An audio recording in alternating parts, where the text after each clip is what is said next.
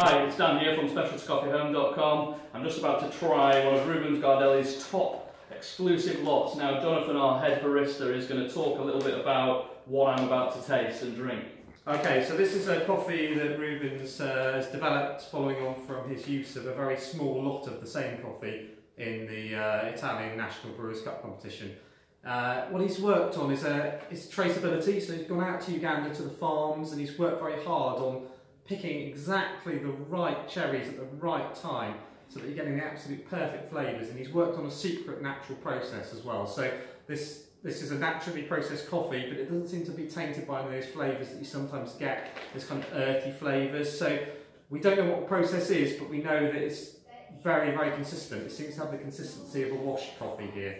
Now you may wonder why I've got a tiny little espresso cup here, Dan's got a bigger cup. Now that's because Dan's bought this coffee and um, it's pretty expensive. I mean you do get what you pay for here. This is you know, this is equivalent of, uh, of the Chateau Lafite of the wine world. This is what you're talking about here.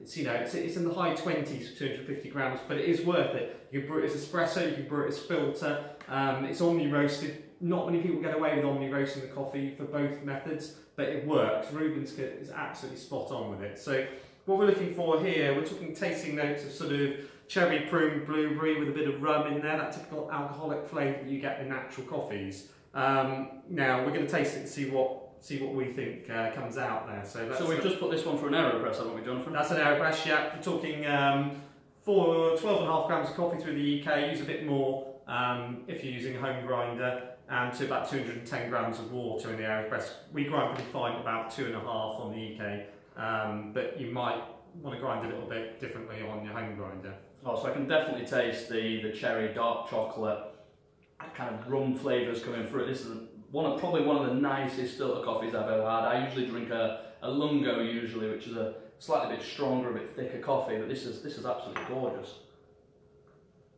Yeah, it's got that um, really silky texture as well. You know, when you get a really high-end wine from the Bordeaux region, like like a Latour or something like that, you get that really silky texture that you can't really find with other wines.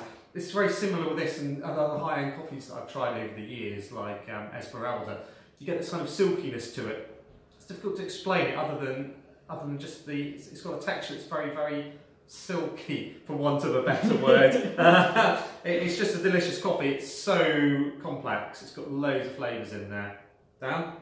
No genuine this is this is a stunning stunning coffee. I, you know I drink every day probably five or six cups a day and this this has got to be one of the, the tastiest ones I've had. Mm and it smells amazing as well. The aroma, especially when you open the bag, and that's one thing I noticed when I first opened the bag. The smell of this stuff is oh, it's, it's unbelievable. And then when Jonathan put it through the uh, the grinder as well, the whole room kind of smelled of that aroma. It's always almost like a floral floral aftershave uh, taste and smell when it when it comes through. Yeah, the roast is just so it's such an even roast in there. You can see from just looking at the beans. There's no, there's not the odd bean in there. It's a bit under over roasted. Rubens has taken a lot of care this coffee. So I've got a few bags of this left, not that many. Um, it's in our shop right now. Take a look. Uh, any advice you want, if you buy it and you want to know how to brew it, then just give us a shout and we're happy to help you. Yeah, and if you want to actually have it perfect like our head barista makes it. We've got an AeroPress video on our YouTube channel as well. Don't forget to subscribe to that. And uh, thank you very much. That's us from the specialtycoffeehome.com group. Thank you very much. Cheers.